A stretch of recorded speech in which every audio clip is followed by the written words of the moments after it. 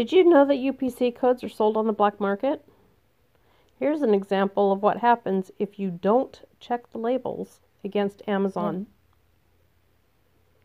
This product scans in as a paper streamer. However, the product is nunchucks.